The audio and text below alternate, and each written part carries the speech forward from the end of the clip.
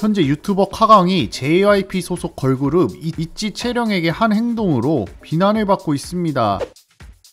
대한민국의 아마추어 만화가이자 여자 목소리를 내는 네카마 유튜버로 구독자 약 30만 명을 보유한 유튜버 카광이 최근 비행기에서 라이브 방송을 진행했었는데요. JYP 소속 걸그룹 ITZY 멤버들과 같은 비행기를 타게 됐죠. 이 과정에서 카광이 채령을 알아보지 못한 채 라이브 방송을 이어가자 시청자들은 답답함을 표했습니다. 채팅창에는 계속해서 ITZY와 채령이 올라왔고 이를 본 카광은 잘 몰라 채령이 누군데 라고 반응 했죠. 그러나 곧 있지에 대한 설명을 들은 카광은 시청자들의 요구에 카메라를 돌려 체령을 몰래 찍기도 했습니다. 있지 멤버 중 한 명인 채령을 몰래 찍기도 했습니다. 이후 자신이 유명 걸그룹 멤버와 함께 있음을 정확하게 인지한 카광은 있지 멤버들이 들리게 있지 히트곡 달라달라를 부르거나 JYP 엔터테인먼트의 수장인 박진영 프로듀서와 통화하는 척을 했죠. 이를 보다 못한 채령은 좌석을 옮긴 것으로 알려졌습니다. 이를 본 네티즌들은 이건 좀 민폐 아니냐? 박진영이랑 통화하는 척은 왜 하는 거냐? 채령도 당황스러웠을 것 같다. 좌석 옮긴 거면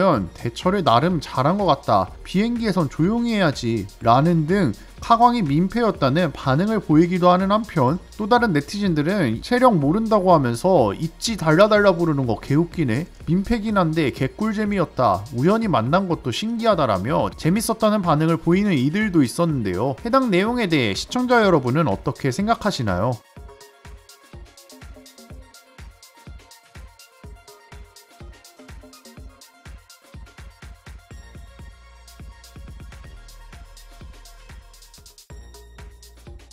Thank you.